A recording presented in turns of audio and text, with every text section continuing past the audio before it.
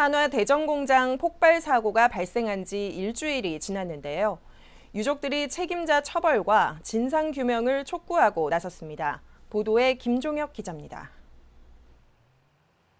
3명의 사망자가 발생한 하나 대전 공장 폭발 사고.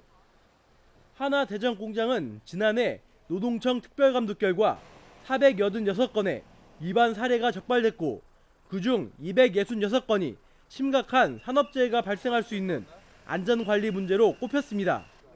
이번에도 마찬가지로 안전과 관련된 위반 사항이 적발됐습니다.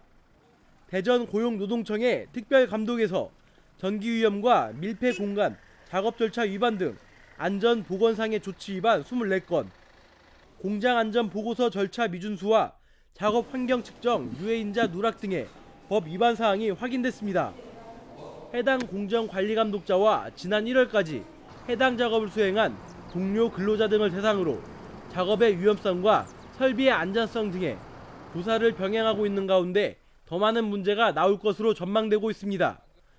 유가족들은 이번 사고와 관련해 사고 공정의 위험 요인에 대한 직원들의 지적이 제대로 개선되지 않은 문제를 지적했습니다. 개선이 안 된다면 또 다른 피해자가 나올 수밖에 없다며 필요한 모든 조처를 요청했습니다. 한편 이번 사고는 작업자가 추진체의 코어와 이를 빼내는 유압 실린더를 연결하기 위해 이를 내리는 도중 연기가 피어오른 뒤 폭발했다고 대전고용노동청이 원인을 밝혔습니다.